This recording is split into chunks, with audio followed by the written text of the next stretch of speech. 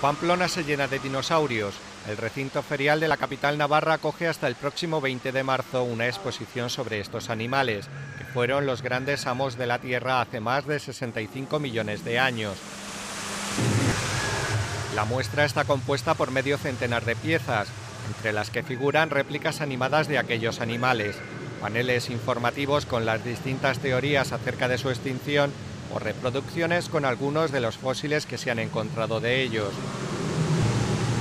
Dinosaurios Park, es el título oficial de esta exposición, está especialmente dirigida al público infantil y familiar, para el que también se han organizado un conjunto de talleres didácticos.